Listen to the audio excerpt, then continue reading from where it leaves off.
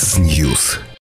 Советы богачек. То есть я советую провокации, но не все их могут себе позволить делать. Российский психолог, психотерапевт. Скажи ему, слушай, ты меня сейчас бесишь, вот честно. Специалист по семейным отношениям. Ну все, будьте готовы к тому, что он пойдет искать другую энергетическую грудь. Ирина Богачук на радио Болтком. Поэтому это такие некие лайфхаки. Дает советы и отвечает на вопросы. Есть три темы, которые категорически нельзя поднимать с А мужчинами. потом мы их раскроем, А да? потом мы их раскроем. Советы богачек. Время выхода программы анонсируется дополнительно. И все проблемы решатся. Здравствуйте, добрый день, уважаемые слушатели. Программа «Советы богачек» и Ирина Богачек, российский психолог, психотерапевт в нашей студии. Здравствуйте. Добрый- Здравствуйте. Добрый день. Э, Приближаются вообще праздники, и праздников очень много. И сначала католическое Рождество, потом Новый год, потом э, православное Рождество, потом Старый Новый год. И, конечно, это такое время подарков, время, когда многие люди задумываются над тем, что дарить, как дарить, и зачем дарить, и кому дарить. Ой, да. Итак, э, да, сегодня у нас тема подарки. Э, Казалось бы, достаточно простая, но сегодня я раскрою очень многие психологические механизмы, которые лежат в основе дарения подарков и вообще, что такое подарок, а в чем его символ. А Именно психологическую концепцию представлю. Но под конец, конечно же, коль скоро передача «Советы богачек», я дам советы, что категорически не стоит дарить, а какие подарки все-таки являются желанными для большинства людей, потому что плюс-минус мы все берем какую-то информацию из коллективного бессознательного. Итак, а, подарок. Что же такое подарок? То есть, даря подарок, по сути, мы вступаем в отношения. И в этих отношениях, кстати, не двое, а трое. То есть э, первым э, является тот, кто дарит, вторым является тот, кто принимает подарок, А третий-то? третьим является, даже если его нет, некий незримый наблюдатель, который оценивает, а, что подарили, как подарили, а, что это из себя представляет и так далее. И очень часто, конечно же, это а, наблюдающее эго а, у кого? У дарящего. То есть тот, кто дарит подарок, он всегда держит э, в голове, как же меня оценят с точки зрения того, что я а, подарил. А я объясню, почему это так. Потому что в основе лежит э, ожидание похвалы, что меня похвалят за то, что я сделал. Но чуть позже я раскрою этот момент. Итак, а, раньше, э, да не раньше, а мы, в общем, идеализируя подарок, говорим, что он должен быть бескорыстным, он должен показывать нашу бескорыстную любовь или, например, дружеское отношение. Но на самом деле век э, циничный, и очень часто подарки используются немножко для другого, для каких-то рациональных, экономических, и, в общем-то, выгод. Ты мне, и, возможно, я тебе, да. Что- ну, ты мне, я тебе, вот Да, да, что-то да. такое. И по сути а, сейчас а, подарок становится добровольно принудительным а, таким символом. То есть а, он заставляет людей вступать в добровольно-принудительные отношения. Что это означает? Добровольные, потому что, ну, в принципе, я сам хочу что-то тебе подарить. А принудительные, потому что традиции таковы, что я, например, обязательно должен подарить тебе на день рождения или в данном случае вот на Новый год прийти с каким-то подарком. И э, в основе дарения лежат тройные обязательства. Итак, а, а, первое обязательство – это умение выбирать и дарить подарок. А второе обязательство – это умение принимать подарок. И очень часто, кстати, люди не умеют как раз-таки принимать подарки а на бессознательном уровне, если а, меня а, мой подарок не принимают, то есть меня что? Обесценивают, меня отвергают, и это может, конечно, за- заложить ну, глубочайшую вот такую вот обиду, с которой потом человек может всю жизнь жить. Об этом тоже, кстати, расскажу, а, рассказывая про стратегии поведения а, в дарении подарков. Ну и третье обязательство – это умение отвечать подарком на подарок. Потому что, ну, в общем-то, закон давать брать никто не отменял. И вот даря друг другу подарки, мы как бы выстраиваем стабильные отношения. То есть, что между нами, в принципе, есть какие-то отношения. И э, если я тебе дарю в ответ подарок, то, э, в общем-то, я выхожу из позиции должника. Которую очень часто помещается человек, когда ему, например, э, дарят подарок. В вот. одной из американских кинокомедий как раз была доведена ситуация до абсурда. На Рождество один дарит другому деньги, конверт с деньгами, тот тоже дарит конверт с деньгами, не убеждают, что у них равная сумма. То есть они... А, а сумма равная у них была? Да, да. Ну, а пересчитывают. Кто-то кому-то там не доложил. Ну, 2 доллара, да? Итак, э, что же в основе? Прототипом подарка, вот именно в психоаналитическом концепте, является акт дарения матери а, пищи своему ребенку. И в ответ ребенок не, под, не может подарить а, маме то же самое, он может что подарить? Радость, какую-то эмоцию, вот эту вот безусловную детскую любовь. И поэтому, в общем-то, в основе подарка должна лежать как раз эта концепция. То есть мы э, хотим сделать человеку приятное, то есть вызвать у него положительную эмоцию, поэтому – Ба-ба-ба-бам. Мы должны учитывать его потребности. Не нашу историю, что нам хочется сделать, а эти истории я расскажу про них чуть дальше, а именно получить у человека а, позитивную, радостную эмоцию. Потому что вообще, если мы определим, э, а, определение эмоций дадим, то как раз эмоции, а, положительные, отрицательные, они зависят от удовлетворения или неудовлетворения наших потребностей. То есть удовлетворение вызывает положительные эмоции, неудовлетворение отрицательные отрицательные эмоции. И поэтому мы обязательно должны учитывать потребности самого человека. Ну, а, также я уже сказала, что даря подарок, мы часто ставим человека в позицию должника. То есть он начинает чувствовать, что он нам чем-то уже угу, обязан. обязан. И здесь я хочу рассказать эм, правило косички, я даже хочу его показать которое в свое время мне рассказала мой преподаватель, профессор.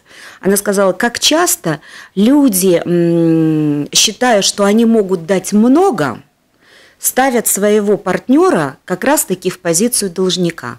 Вот, например, встречаются молодой человек и девушка. Вот именно показывать буду. И, например, молодой человек делает первый подарок какой-то. Ну, например, просто приглашают ее в кафе и приносят э, цветочек, розочку, например, да, угощает кофе, они беседуют. Девушка думает, ой, как здорово, вот сейчас скоро будет какой-то праздник, и я что-то ему подарю. И э, дарит ему, а у этой девушки, например, финансовая возможность э, большая, и вкус хороший, и в брендах она разбирается, и она, хоп, ему дарит, например, какое-то, я не знаю, брендовое портмоне. Угу. А молодой человек, ну, например, просто, я не знаю, эм, студент или начинающий специалист, у которого не такие финансовые возможности, и он начинает, бедненький, думать, она вот мне такое подарила, сейчас надо мне как-то вот саккумулировать все. И вот он подкопил, подкопил, подкопил, хоп, и подарил ей, например, какие-нибудь прекрасные селективные духи, потратив на это две своих зарплаты. Она думает, ух, ничего себе я его промотивировала, а дай-ка я ему сейчас тур на Новый год. Хоп! А он-то понимает, что он в этот тур ну просто не в состоянии поехать, потому что он уже потратил две свои зарплаты на вот эти духи, на, это, на этот аромат. И он такой думает, ну, может быть, попробую, ну, может быть, ну, может быть, вот сэкономлю, может быть, у кого-то займу.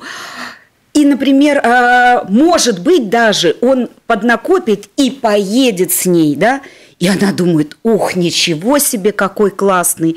И все это у него замечательно получается. И, например, ему на день рождения, ну, я вообще не знаю, что-то там. Ну, часы дорогие. Да, например, какие-то, да, э, дорогой брендовой марки. И он думает, нет, ну все, это больше невыносимо. И он уходит. А она, а она не понимает, в чем дело потому что я же столько ему себя отдала, а, столько в него вложила, как же так он мог недооценить? Поэтому вот это правило косички, когда пока-пока, шажочек за шажочком, даже если у тебя есть возможность, оцени возможности другого. Не надо думать, что если ты сделаешь дорогой подарок, тем самым ты промотивируешь своего партнера на то, чтобы он сделал тебе что-то в ответ. То есть ты можешь вызвать совершенно а, обратную реакцию, и она будет не в твою пользу. Поэтому хочу вам рассказать, что в основе подарка лежат две составляющие. На самом деле три, но вначале угу. про две. Итак, а, первая составляющая подарка – это эмоциональная составляющая. Это как раз вот а, искреннее проявление любви или дружеских отношений, или щедрости, желание увидеть вот эту радость. А вторая вторая составляющая подарка – это вот такая прагматичная составляющей. И в ее основе как раз уже лежит совсем другое. Это стремление к власти, стремление к подчинению, что чем а, дороже я сделаю тебе подарок, тем больше я тебя помещу в свои, так сказать, оковы, цепи, я буду тобой управлять. И у меня есть один знакомый, он живет в Америке, и он говорит, у меня есть три злейших врага. А, это Шанель, Диор и Эрмес. Вот, то есть три злейших врага. То есть я, говорит, уже ничего э, хуже и меньше подарить не могу. То есть мне, говорит, все время приходится ориентироваться на эти марки. Итак, у людей пропорции могут быть разные. То есть действительно кто-то больше обращает угу. внимание на эмоциональную составляющую, а кто-то больше внимания обращает как раз-таки на вот эту рациональную или прагматичную составляющую. То есть что последует за этим подарком. Но я как психоаналитик э, выделяю еще третью составляющую. Ну, не только я, вообще ученые. Это магическая сторона подарка. И мне вот э, эта сторона прям очень кажется привлекательной. И в ее основе лежит следующее. Дело в том, что согласно представлениям э, наших предков и вообще коллективного бессознательного, э, у каждого подарка есть своя душа. А как она появляется у этого подарка? Мы вкладываем частичку своей души а, в этот подарок.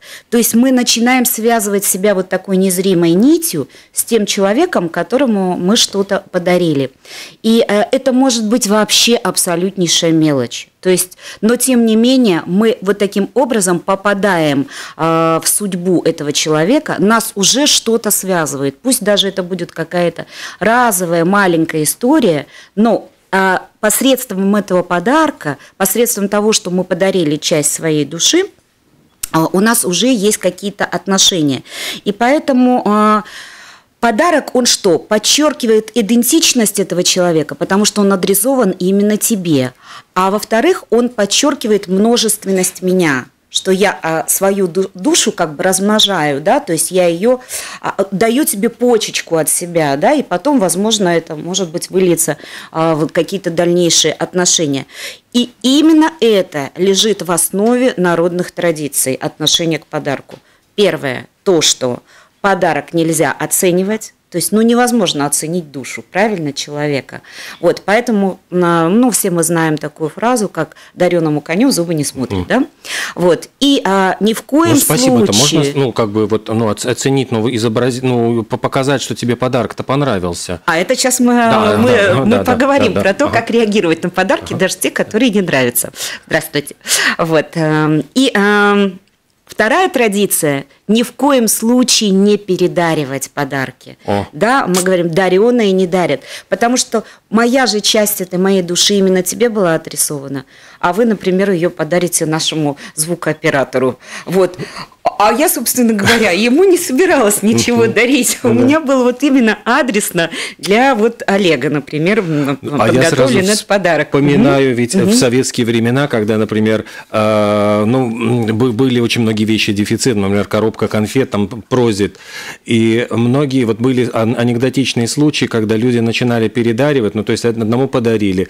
Он, ну, какая красивая коробочка, ну, вот, ну, ну просто съесть жалко, надо э, передарить другому. И эта коробочка совершала круг, и, и когда ее... к тому же, Или да? к тому же, это были одни варианты. Или, например, когда люди открывали, когда ее, они уже вытек, ну, то есть у них срок хранения ну, кончился. Закончился. Да, и это уже совершенно не, невозможно было употребить. То есть вот такие вот случаи, вот именно передаривания подарков, которые заканчивались платежем. Ой, а мне, кстати, на эту тему вспомнился случай. У меня мама работала, ну, в общем, была чиновником, и точно так же ей подарили коробочку конфет, а я, будучи школьницей, пришла к ней, ну, вот лежит коробочка конфет, да, времена дефицита. Я думаю, ну, пока никто не видит, дай-ка я я две конфетки ага. съела, две. А в итоге моя мама подарила эту коробку конфет кому-то там дальше. Ну и потом прилетела история о том, что оказывается, а, ну никто не подумал, что это она съела или угу. кто-то. То есть решили, что это вот брак заводской, угу. не доложили конфет, времена дефицита. То есть это все обсуждали э, в ее конторе этой. Мне было жутко стыдно. Я призналась И, конечно, я по получила, ух, как, потому что не для тебя это было, было мне сказано.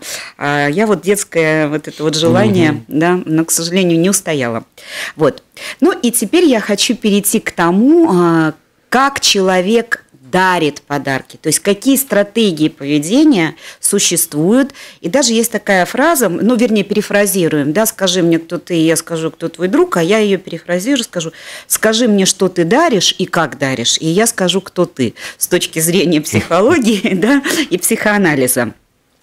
Подарки разные, люди разные. И здесь, я говорю, зачастую даже важно не то, что дарит человек, а, а именно как он дарит, с какой эмоцией, а, какие его тревоги, страхи сопровождают, или наоборот какие-то другие, допустим, эмоции, какие фантазии он вкладывает, а, сколько сил он затрачивает на то, чтобы найти этот подарок и вот адресно а, именно для этого человека.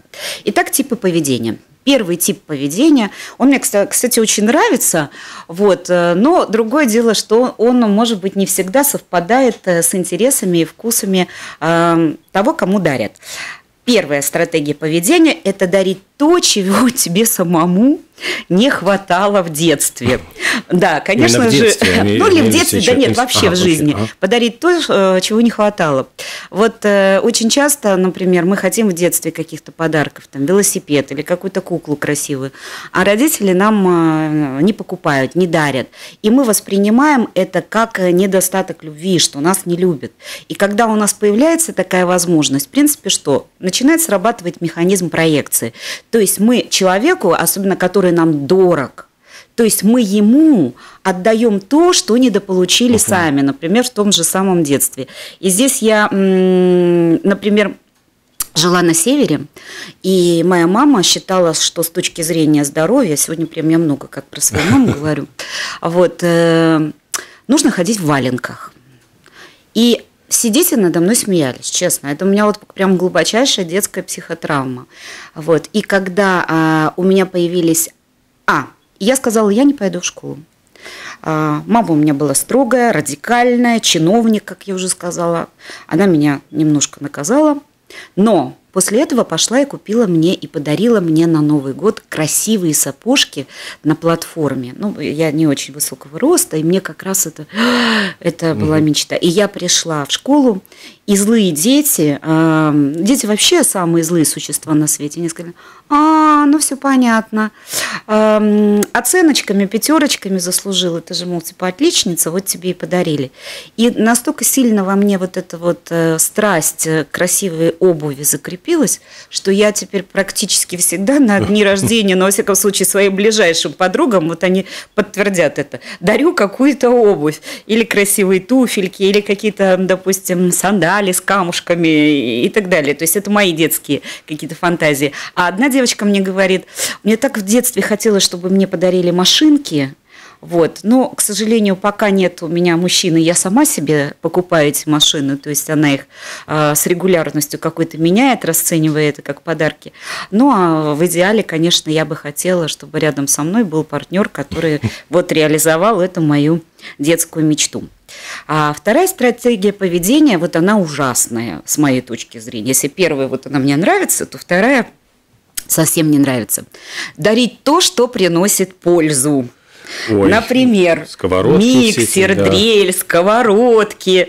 И вот такие подарки по статистике чаще всего э, вызывают разочарование, потому что в них нет ни чувства, ни фантазии. И хочу рассказать очень интересную историю, которая произошла с моей подругой.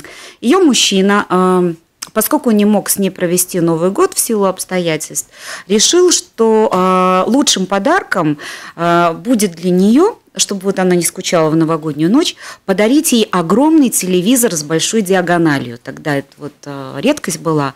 И он вот э, подарил ей э, этот телевизор. У нее случилась просто истерика.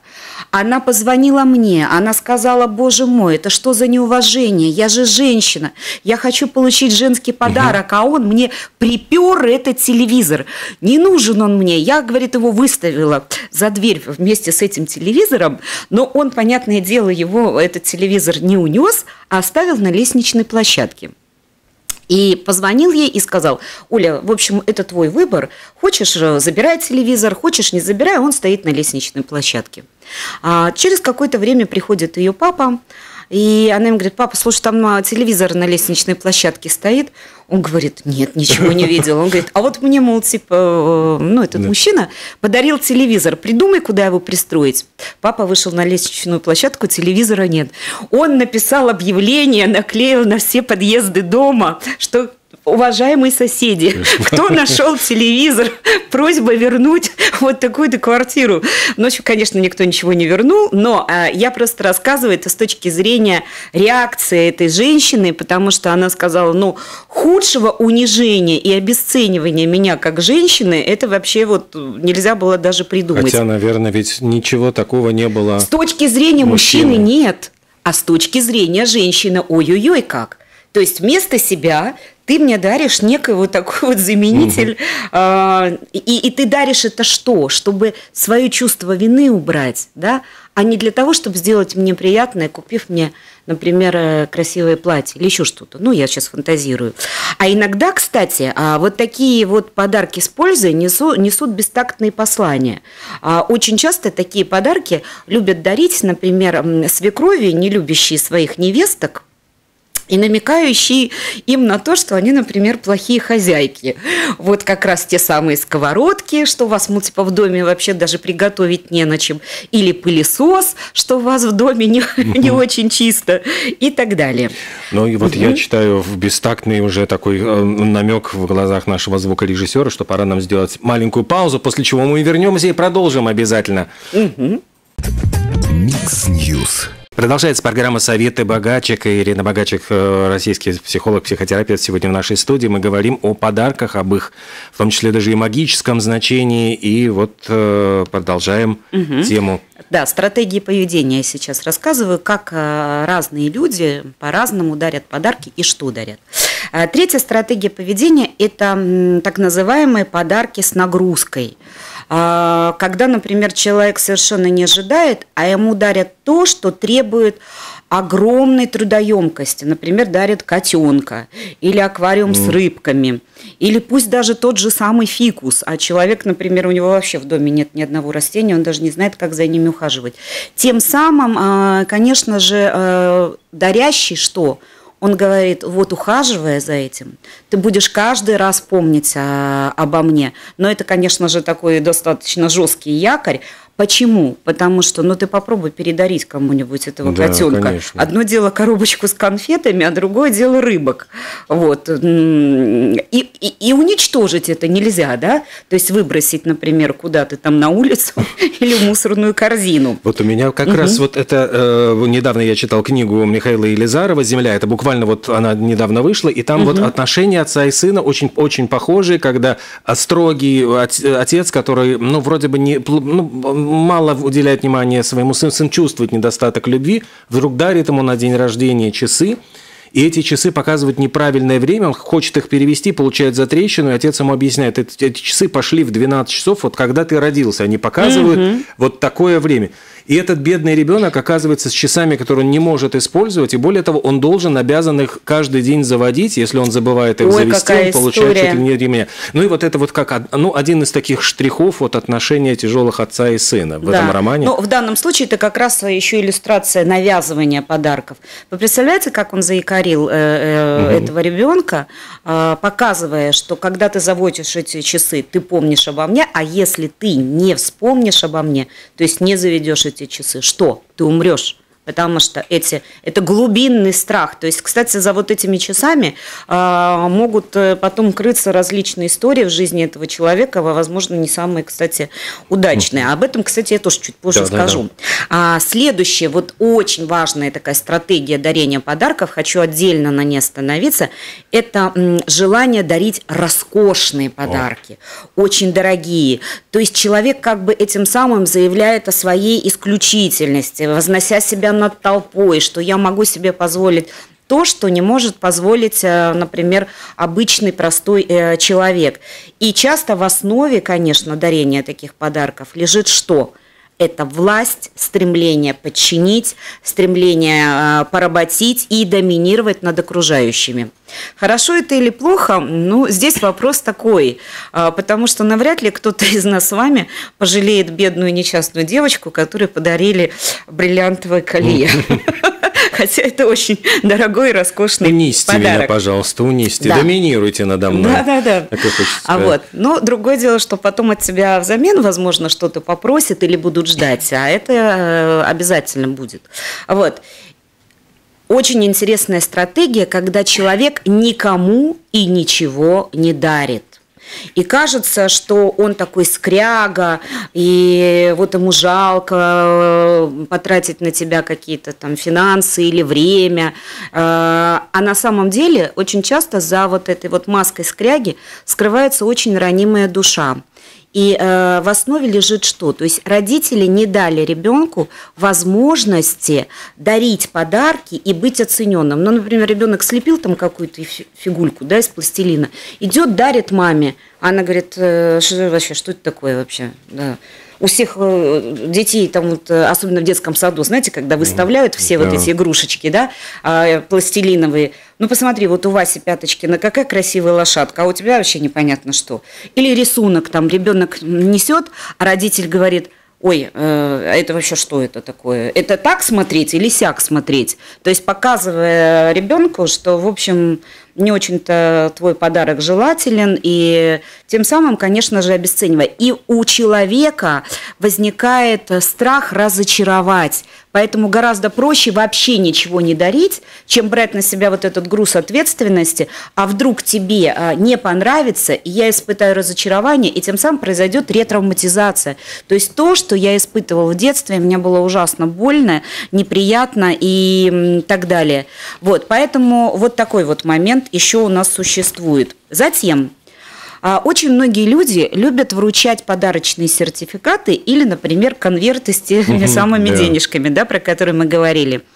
Это тоже такой, э, казалось бы, хороший способ справиться с проблемой выбора, а на самом деле здесь тоже очень часто лежит э, этот же самый страх – то есть не угодить, а, разочаровать, а, не быть оцененным. Ну и с другой стороны, здесь еще может быть лень. Просто mm. человек, а, да, не хочет потратить э, время, свои силы на то, чтобы вот э, сделать, подарить себе ту самую частичку своей души. Или, например, страх проявить свой вкус, да, то есть э, надо мной будут смеяться и скажут, что я, допустим, там не разбираюсь в чем-то. Э, или показать, что у меня нет воображения. Ну и э, отдельно хочу э, остановиться на создании грандиозной упаковки или ритуала. Некоторые Ой. люди очень много внимания уделяют как раз вот этим ритуалам, создания э, упаковок, целый спектакли, стихи. И э, вот в этом всем человек проявляет себя, конечно же, как личность. А, очень часто мы видим такие истории, когда множественно упакован подарок, да, то есть одна бёрстка, потом вторая, потом третья. Коробочки, На самом да, деле, да, да, или коробочка друг в друге. Символически это означает не что иное, как акт рождения. То есть вот эта упаковка, это вот те этапы, которые проходит, допустим, человек, ну или любое живое существо а, в момент своего рождения. То есть есть этапы. И в данном случае, когда ты разворачиваешь этот подарок, это те же самые этапы рождения, рождения чего-то специально для тебя. И, конечно же, здесь опять же э, участвует трое. Тот, кто дарит, и тот, кто берет, и тот, кто вот смотрит. А это могут быть реально живые люди, которые смотрят, а что же там, а что же там еще, а что же там еще. И эм, Здесь я хочу рассказать очень смешную историю. А, мы были, будучи студентами, у нашего друга, музыканта, а, он очень любил э, музыку чернокожих музыкантов, а, джазовую, и у него все время была мечта, он говорил, моя фантазия, я хочу искупать в ванной шампанским темнокожую женщину, певицу. Ну, мы были бедные студенты, понятное дело, да просто даже на улице невозможно было встретить такую барышню, чтобы хотя бы привести ему и познакомить, и она бы сидела за столом. И что мы придумали? В магазине в детском мире продавалась такая вот кукла Чунга-Чанга, знаете, да, черная, да. И, и ванночки. И вот мы ему э, купили эту ванночку, посадили туда эту чунгу-чангу, бутылку с шампанским, привязали ванночку на веревке, позвонили ему в дверь. То есть мы ему компании пришли к нему Новый год отмечать. И он открывает дверь, но еще мы ему песню там пели. И вот он открывает дверь, и туда въезжает эта ванночка с этой чунга-чангой. Мы говорим, ну вот мечтал искупать темнокожую женщину в ванной, вот тебе, пожалуйста, все мечты реализуются. Пусть это будет символически, но пусть даже так, но мы э, исполнили его желание. И, конечно, он был э, очень-очень-очень радостным. А теперь немножко перейду к статистике. Есть абсолютно четкие цифры про подарки. А, э, статистика, кстати, собрана компанией а, MasterCard потому что они отслеживали, какие подарки, что и как люди покупают. Вот. И выяснилось, что 58% людей, э, ну, держатели этой э, карты, получали непродуманные подарки. То есть э, им, жу, им жутко не, не нравилось да, то, что им подарили. Вот 9% мужчин и 5% женщин покупают подарки в последний момент – ну, кстати, небольшой процент. Видите, оказывается, ну, да, достаточно думаю, большое что... количество а людей. А что значит последний, последний, последний момент? момент. Ну, ну, вот, вот, вот сейчас, вот через час ага. я иду на день ага. рождения, и вот прямо Бегу. сейчас угу. я что-то хватаю. Или вот сейчас уже вот через час э, куранты будут бить 12, э, а у меня еще нет подарка. Э, 50% э, влюбленных пар говорят о том, что они получали нежелательные подарки от своего любимого. То есть не учитывались его интересы и потребности. И всего лишь 9% респондентов считают стоимость подарка важной. Вот остальные люди, то есть 90%, 91%, говорят о том, что, в общем-то, и Важнее вот эта стоимость, да, то есть совершенно другое важно.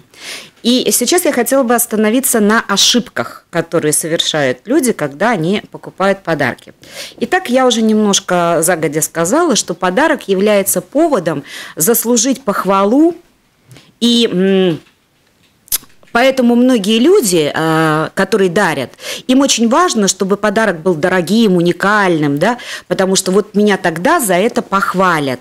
А вот тот, кто принимает, совершенно другим руководствуется. Ему очень важно, чтобы а, этот подарок каким-то образом вошел гармонично в его жизнь, то есть был ему полезен, его можно было бы конкретно использовать, и была проведена, был проведен такой эксперимент по поводу кофемашины. А, те, кто покупают в качестве подарка, часть людей была, и те, кто получали эту кофемашину как подарок. Mm. Так вот, э, те, кто покупали кофемашину, они выбирали самые последние модели, чтобы она была очень красивая, там, а, внешне оформлена, чтобы у нее была куча функций, там, и капучино, чтобы делал еще что-то. А вот те, кто получали кофемашину, ну, вот часть э, опрашиваемых людей, они говорили, ой, пожалуйста, нам одну кнопочку, mm. желательно, чтобы вообще не было этого молока, потому что потом очень тяжело мыть вот эти вот э, mm-hmm. детали, которые сбивают молоко и так далее. То есть совершенно разные подходы. И, конечно же, когда мы дарим подарок, я еще раз повторю, мы должны учитывать потребности того, кому мы дарим. Вот сразу вопрос, mm-hmm. можно ли считать носки и пену для бритья э, практичным, практическим подарком, вот это, которое оскорбляет уже мужчину, например. А это вот как раз э, здесь А от лени, Б от недостатка фантазии, а В э, а уже не оскорбляет на самом деле. Уже настолько угу. это привычная история. Так вот, э, буквально вчера я ехала в автомобиле, и э, по эстонскому радио э, делали розыгрыш подарков, один из которых был, я вначале думала, что я слышалась, ароматные носочки в консервной банке.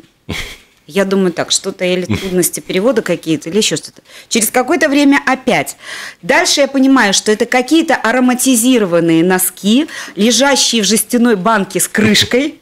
Вот. Но первая реакция моя – ароматные носки в консервной банке. Ну, то есть Недельные ассоциации вызываются. Сразу, да. да. А на самом деле решили немножечко облагородить вот те самые привычные подарки. У нас очень долго давайте, просто прозванивается давайте. человек. Здравствуйте. Нет, нет, да. недолго вроде прозваниваюсь, но прозваниваюсь. Да, да, а можно ли да. считать, не сначала слышал э, подарком деньги? Да, а, мы как раз говорили о том, что деньги или подарочные сертификаты э, чаще всего не являются хорошим подарком, потому что, с одной стороны, они убирают страхи человека, который да, а, должен подарить подарок. Страх в том, что его вкус будет воспринят не так, или э, его обесценят, э, или он получит разочарование. Поэтому вроде бы как деньги такая вот символическая история, которая всех удовлетворяет. Но на самом деле большинство респондентов респондентов, которые получали подарки, да, статистический опрос был произведен, а, были недовольны тем, когда им дарят деньги. Еще один звонок. Здравствуйте. Угу. Извините, это меня, наверное, прервало а. что-то. А, да, да. А, угу. Нет, я имею в виду, а, допустим, коллективно подарить как бы деньги. Идет а, группа, не знаю, там, мальчику на день рождения все родственники складываются и дарят ему все конверты. Получится так, что все подарят как бы конверты. Он в конце концов, ну не знаю, там, гироскутер себе купит. Например. Вот э, задача-то в том, чтобы кто-то из этих родственников взял на себя обязательство, а, ответственность э, собрать у всех эти деньги, купить тот самый, э, как вы сказали, скутер какой-то там, да, и сказать, что вот это тебе подарок вот от всех нас. И тогда э, вот этот ребенок почувствует, что это именно для него, именно ему. И именно а люди, э, люди потратили свое время, энергию э, э, с выбором. Угу а сам он потом не может идти и тратить свой подарок. А это уже не подарок, это уже как бы мы, э, знаете, как откуп называется. То есть это не очень хорошая история, вот связанная с подарком. Потому что в подарке должна быть частичка нашей души, а в деньгах mm. там, в общем-то, нет частички нашей души. Спасибо. Ну, это нежелательно. Это, конечно же, можно делать, но, но нежелательно. Спасибо. Угу. Вот. Итак, а, следующая ошибка. А, мы считаем очень часто бессознательно, что подарок – это продолжение себя. То есть мы как бы хотим, чтобы оценили наш вкус, да, а наш выбор, наши возможности, а на самом деле не заботу о вкусах и желаниях человека, потому что ему может совершенно не понравиться то, что его мы подарили, а он в силу там каких-то обстоятельств, воспитания, скромности не может вам об этом сказать. А вы еще после этого спрашиваете, а почему ты не носишь то, угу. что я тебе подарил? А почему ты не используешь то, что я тебе подарил? И, конечно же, мы должны помнить, я уже говорила об этом, что подарок – это некий ритуал, который мы должны вкладываться. То есть сколько сил мы вкладываем в поиск, сколько энергии мы на это затрачиваем. Это все тоже символическим образом очень чувствуется. Ну, например, э, готовая открытка даже с какими-то а, очень остроумным высказыванием совершенно а, не то, что ты бы написал от руки, пусть даже и на, угу. я не знаю, просто разноцветном листе бумаги. Вот э, упаковка своими руками. Опять же таки, я забочусь о тебе, я укутываю то, что будет специально для тебя.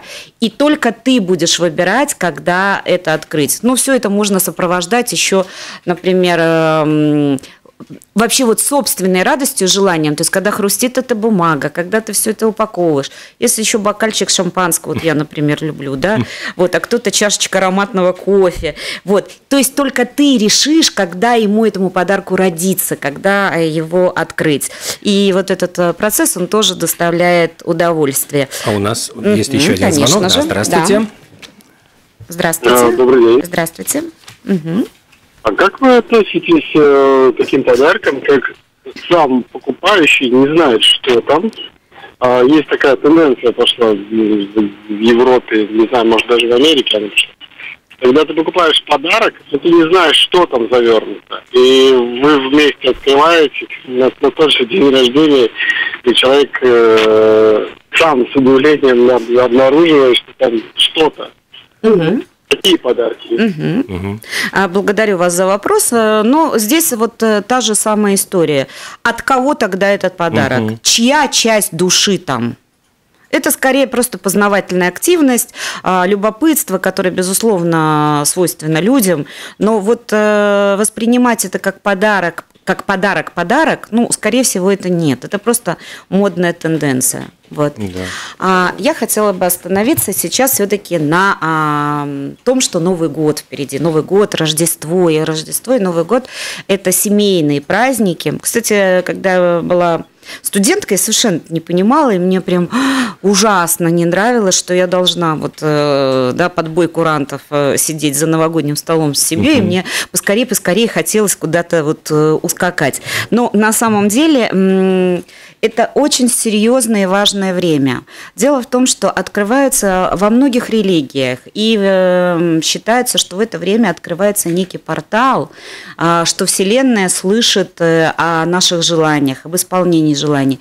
В это время все конфликты, в том числе и семейные конфликты, они отходят на задний план. И у тебя реально появляется раз в году прям вот та самая традиция попробовать все исправить, попробовать все изменить. А, посредством того, что мы а, отсылаем новогодние открытки, электронные поздравления, для нас это есть не что иное, как реестр а, нашего сообщества, то есть с каким количеством людей я общаюсь. Я, конечно же, здесь не беру во внимание социальные сети, когда сделала одну открытку и сказала mm. всем моим друзьям, которых там 2 миллиона, да, я отослал это. Нет, Здесь именно индивидуально каждому, может быть, каждому какое-то свое слово или какой-то э, знак внимания. А именно в это время а, есть шанс комфортно и э, бережно сказать человеку о своих пожеланиях, о своих потребностях, о том, что я вот целый год не мог, но вот сейчас наступило то самое волшебное чудесное время, когда я хотела бы сказать тебе, э, давай помиримся, давай забудем, давай войдем в, в Новый год с новой энергией. И э, кстати, Новый год может стать э, посланием э, новой деятельности, когда в качестве подарков э, людям дарят какие-то вещи, которые, возможно, он будет использовать, ну, например, там, теннисную ракетку. А человек давно собирался, да, говорил, да, я хотел бы этим заняться, но вот как-то все не то и не так. Или, например, там, ролики, а, и человек начнет там кататься в парке. Вот. И а, что классически нельзя дарить на Новый год. А, а, прям вот э, советы от э, Ирины Богачек. Но они, правда, эти советы строятся, опять-таки, на статистических данных. 50% а, респондентов говорят о том, что они были жутко разочарованы и прямо вот даже негодовали, может быть, испытывали отрицательные эмоции, когда на Новый год они получили следующее – на первом месте, кстати, стоят деньги. О. Вот, не нравится людям. Деньги, канцелярские товары, пылесос, кухонную утварь, банные принадлежности – и электронику. Ну вот по поводу электроники, я, кстати, тут поспрашивала людей. Многие даже сказали, а почему бы и нет, я бы с удовольствием получил а... на Новый год новый айфончик или телефончик. А я против этих письменных вот. принадлежностей тоже ничего не имею. Я, наоборот, фанат авторучек, да? блокнотов всевозможных. Вот. И эм, Новый год – это вообще символический язык. То есть именно ты можешь э, вложиться в это, именно ты можешь э, сам для себя распорядиться вот этим временем и и э, это зависит только от нас. Ну, а то, что касается именно меня, то я считаю, что Новый год – это праздник съестной. И поэтому, э, например, если я иду и куда-то что-то дарю, я обязательно дарю а, такие вот вкусные подарки. А, ну, бутылка шампанского, она всегда будет э, к любому новогоднему столу желанной. Ну, а если к ней еще вы что-то вот можете себе позволить, э, да, например, там те же сам, тот же самый шоколад или э, баночку с икрой, вот у меня прям такие фантазии уже прямо вот, да. То есть то, что можно реально разделить. И в этом, кстати, заложено правило светского этикета. Когда ты идешь особенно в гости к кому-то отмечать, обязательно неси то, что можно разделить со всеми. Вот э, я об этом. А уже индивидуально, конечно, вот каким-то членам семьи уже вот эту частичку своей своей души в зависимости от их потребностей и вкусов. Спасибо большое. Это была программа «Советы богачек». Ирина Богачек сегодня была в нашей студии. Всех поздравляем с наступающими праздниками. Желаем хорошего Рождества и счастливого Нового года. Да, поздравляю вас всех.